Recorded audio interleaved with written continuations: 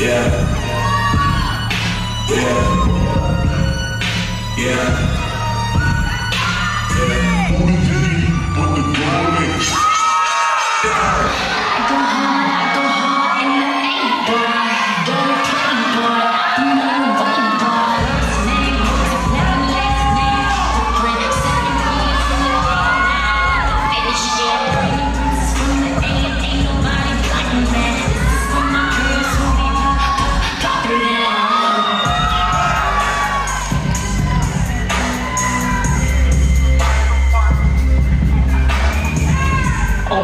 Safe, got a lot to say.